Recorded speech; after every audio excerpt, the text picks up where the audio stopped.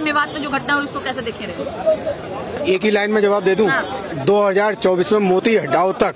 अभी देखो कहाँ कहाँ क्या क्या होता है। बस एक ही लाइन का जवाब है। अभी इतने षडयंत्र करे जाएँगे मोती हटाने के लिए। ये लोग I dot I N dot India जो बनाया है ना इन्होंने डॉट डॉट लगा के पूरी इंडिया बस आप समझ लो ये किसी भी हद तक जाएँगे मोदी को हटाने के लिए। कहीं हद तक गिर सकते हैं ये।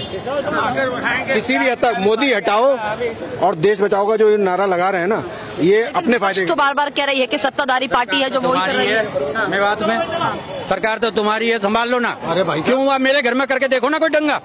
फिर वही बात है ना दंगा चलो फिर राज करना आता संभालना आता नहीं। हाँ, ये- वो वो जिम्मेवार है यूपी वो भी तो संभाल यूपी भी तो संभाल रहा है। बता हरियाणा भी तो तुम्हारा है। हाँ, तो फिर संभाल क्यों नहीं रहे? संभाल- किसी के घर पे आके डांगा करोगे तो ऐसे होगा। आके आप लड़ाई तो लड़ाई तो लड़ सकते हो उन्नीस सौ सैंतालीस नहीं हुआ वहाँ पे कुछ भी करो। कैसे कर दंगा तो ही हो कैसे कर दोगे? किसी मोहल्ले में ऐसे दंगा हो जाए। कैसे? मोहल्ले में कुत्ता भी नहीं आता। चलो भाई, दूसरे मोहल्ले में कुत्ता भी नहीं आता। हैं, कौन कोई कुत्ता उन्हें मारना पड़ता है मोहल्ले में कुत्ता आता कोई? नहीं आता। पड़ता उसको भी पता है। उसकी टेरिटरी है यहाँ कर दे कोई। हमारे यहाँ कोई आ जाए अभी देखा?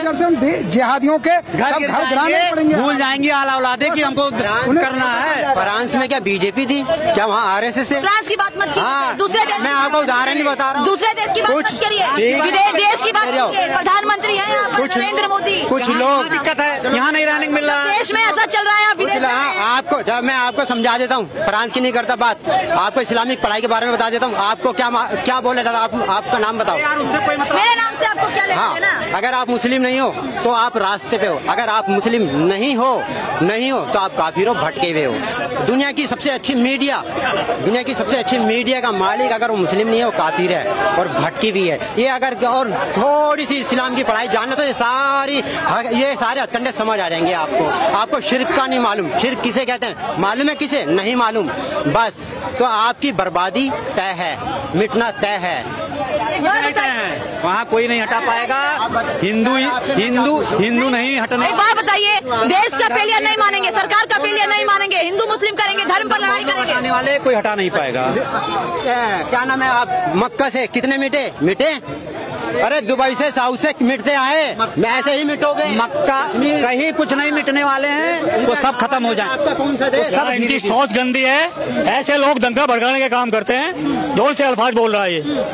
इसको ये नहीं पता कि तू कौन देश में रह रहा कि कितनी तुझे समानता मिल रही है यहाँ। यहाँ तुझे हिंदू और मुस्लिम में कोई फ़र्क दिखाई देता है? उनकी किताब पढ़ी है। और सऊदी अरब की बात कर रहा है? हाँ?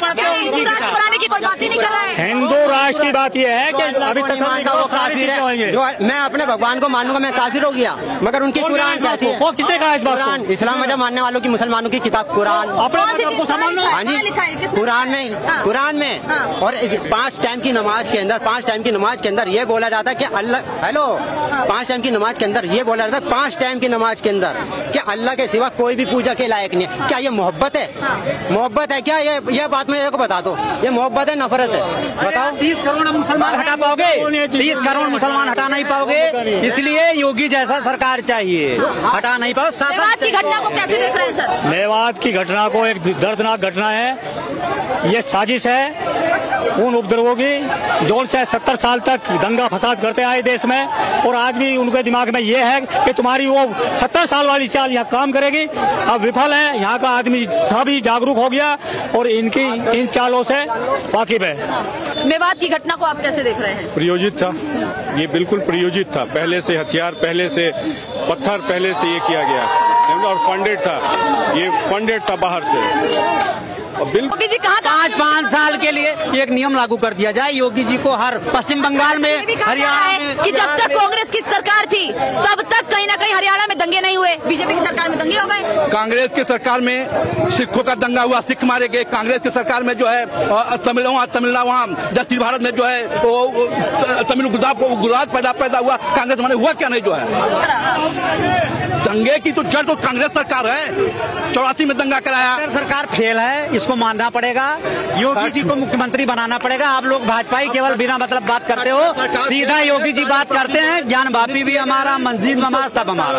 वो सीधा आदमी है, सीधा फॉरवर्ड बोलते हैं, सब हमारे। क्यों डर लग रहा है? है क्या? खट्टर साहब को गलत बताने में डर लग रहा है बीजेपी को। डर डर डर लग रहा जो है। आज दो दिन के बाद शांत होता तब ने शांत क्या कह रहे हैं? ये लोग नमक भाजपा खाए हैं तो भाजपा करेंगे नहीं निकाल दिए जाएँगे पार्टी से। हाँ। इन लोगों की क्या स्थिति है? हाँ। ये लोग निकाल दिए जाएँगे। हाँ। हम लोग स्वतंत्र आदमी है। योगी जी- जी के भक्त है ना भाजपा ना आपचा।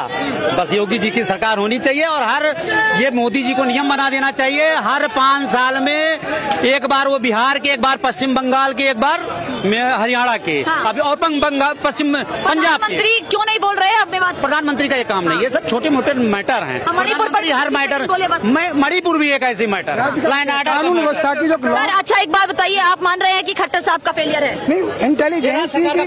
राज्य सरकार का काम है इंटेलिजेंसी उनकी बेकार रही। उसमें यह है की वो पता नहीं लगाया कि जिहादी अंदर ही अंदर क्या साजिश रच रहे हैं। उनका